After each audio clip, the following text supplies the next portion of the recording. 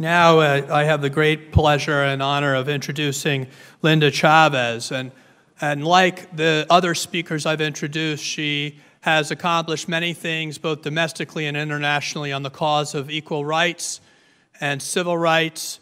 Uh, but today, um, we're going to ask her to talk a little bit about her work uh, working to advise the United Nations Subcommission on Human Rights um, what her experience is looking at the way the people of Camp Ashraf have been treated and the current danger that they are in because of the terror listing and how important it is for the United Nations to declare Camp Liberty a refugee camp so that the people of that area can be treated with dignity and respect and protected from being able to be assaulted by the Iraqi government like they have two times before. So let's hear for Linda Sanchez.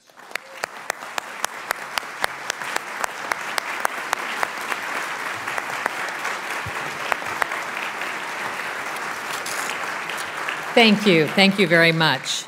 Uh, first of all, let me also uh, give my thanks uh, to Patrick Kennedy. And I had the privilege over the years, you may not know this, Patrick, I used to be a Democrat before I was a Republican.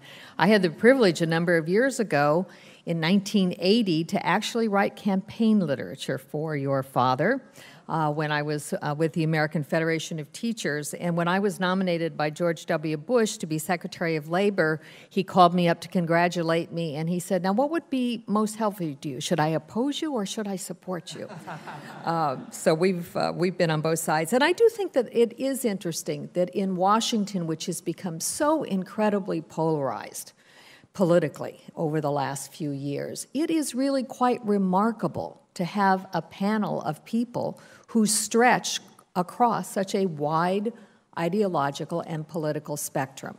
I think it is a testament to the fact that this is not a partisan issue. In a real sense, this is not a political issue and should not be a political issue. This is a human rights issue. It is an issue about what the Constitution of the United States means, what due process means, and what our judicial systems should mean. So it is a privilege uh, to come here and talk. And as Patrick said, uh, my work with the United Nations uh, Subcommission on the Prevention of Discrimination and Protection of Minorities started in 1992. I was appointed by uh, President George Herbert Walker Bush, or I should say, I was nominated. Uh, by the US government uh, under that administration. But I served also through the Clinton administration in that position because I was elected by the United Nations Human Rights Commission. And that was the first opportunity I had to meet anyone from the MEK. And I have to tell you, when I was first approached, I was a little suspicious. Who were these people calling themselves the Mujahideen? Uh, were these people our friends? Were these people dangerous? And I got to know the people who worked uh, at the United Nations, and I found out that what they were interested in was the same thing I was interested in, and that is the protection of human rights. And their focus was on the protection of human rights in Iran. And they provided me over those four years valuable information about the human rights violations that were going on in Iran, and particularly because it was a focus of my interest on the human rights violations that were going on against women. Because if you look at any society, if you want to judge a society, is this a good society? Is this a bad society? One of the most effective and quickest ways to determine whether these people are friends or they are enemies is to look at how they treat their women.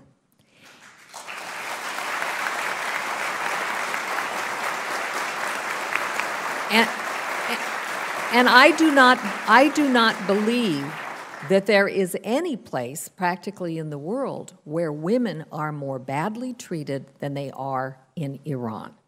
Women are denied the most basic rights. They're told how to dress. You can be a tourist in Iran and you can have the vice police pull you off the side because you are not dressed to their standards. Women are imprisoned They are put in the most appalling conditions. They are sometimes tortured. They are finally, some of them, executed in the most brutal, inhumane ways. And women in Iran, as well as all of the Iranian people, have had to suffer under this regime for more than 30 years. Now, it's not just that Iran violates human rights within its own country. The regime is also a direct threat against the world. And by the way, we're talking about the MEK being terrorists. We know who the terrorists are. The terrorists are the regime in Iran.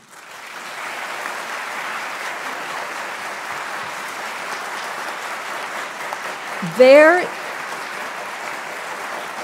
the whole idea of listing an organization on the foreign terrorist list is based on the premise that they pose a direct, credible threat to the United States. Well, we know that there is American blood on the hands of the regime in Iran. They were behind the Beirut bombing, embassy bombing, they were behind the, the bombing of, of the U.S. Uh, barracks. They have American blood on their hands. So we know they are the threat. We also know that the delay, the sort of taking at face value that maybe they will talk to us, maybe they will let us inspect uh, what's going on in Iran, has allowed them the opportunity to enrich uranium to make nuclear bombs. This is something we know, and press reports suggest that they already have enough uh, enriched uranium to make at least four bombs. It may be more. Now, I want to talk a minute about conditions for those who are living, the remaining people who are in Camp Ashraf, uh, but also, I think, even more in peril, those who have been moved to uh, Camp Liberty. We're about to enter the summer right now, and many of you from that part of the world uh, are very familiar with what summers are like.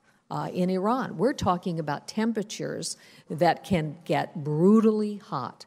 And yet, the people who are living in Camp Liberty do not even have an adequate water supply system. They have not been able to tap into the water system.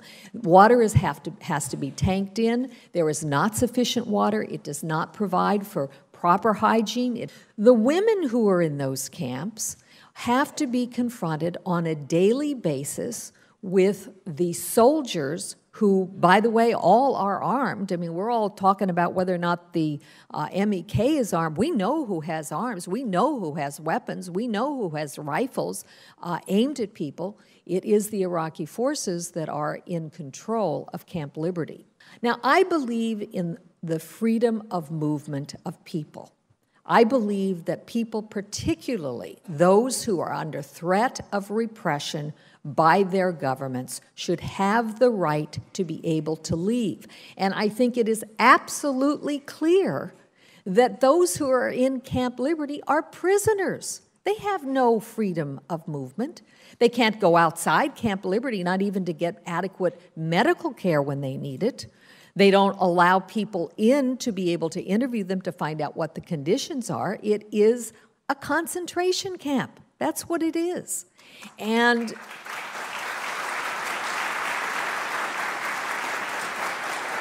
so I think it is absolutely one, um, one aspect that human rights are being violated by the fact that these people are not being treated as refugees.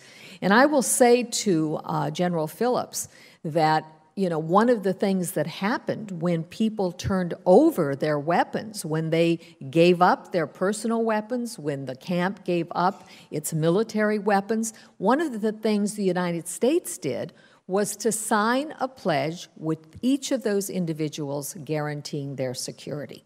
Those pledges bear the stamp of the United States government, and yet we are not protecting those people. And the only way to protect those people is to delist the MEK so that these people have the freedom to go and to live where they choose. Thank you very much.